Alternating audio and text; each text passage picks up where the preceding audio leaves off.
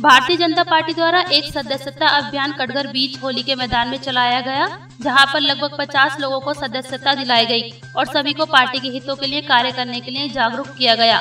साथ ही साथ, अपने बाढ़ में सरकार की योजनाओं को जनता के समक्ष पहुँचाने की बात कही गई। बैठक को सफल बनाने में महानगर प्रभारी नवाब सिंह, महानगर अध्यक्ष महेंद्र गुप्ता, मंडल अध्यक्ष अरविंद सिंह, पार्षद कुलदीप नारायण सिंह प्रशांत सक्सेना दिनेश शुक्ला, सुमित कुमार लोग मौजूद रहे।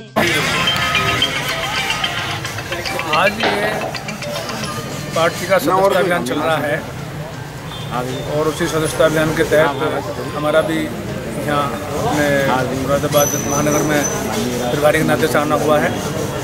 तो उसी निमित्त आज कटघर इस मंडल में होली के मैदान में ये कार्यक्रम चल रहा है।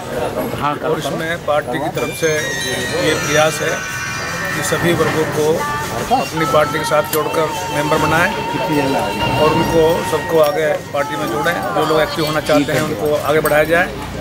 तो इस प्रकार से उनको मेंबर बनने के बाद लगातार उनके फ़ोन नंबर्स पर पार्टी के संदेश आएँगे, सूचनाएँ आएँगी और वो लगातार पार्टी से जुड़े रहेंगे। तो इस प्रकार से पार्टी से जोड़ने का ही विशेष रूप से अभियान है। सर, आज कितने मेंबर बनाए गए?